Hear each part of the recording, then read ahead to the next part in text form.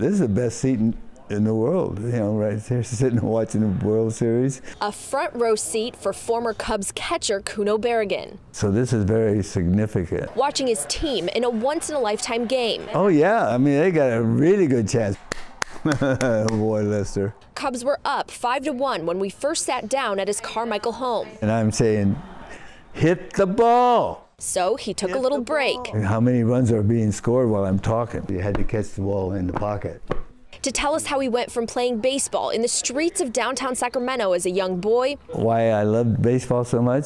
Because I was good at it. to getting a shot to go pro. I was able to sign a contract with the local Sacramento Solons, AAA.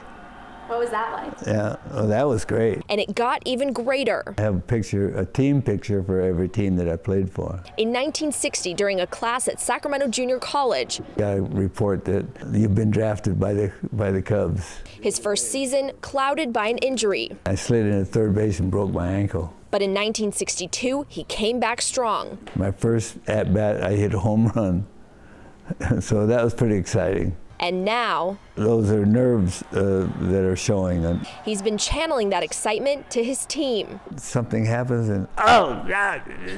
who in the 10th inning All right, God, that's amazing. Just amazing. Go Cubs, go! pulled around to bust their 108 year drought and win the 2016 World Series. Everybody's hugging everybody. That's great. In Carmichael, Natalie Brunel, KCRA 3 News.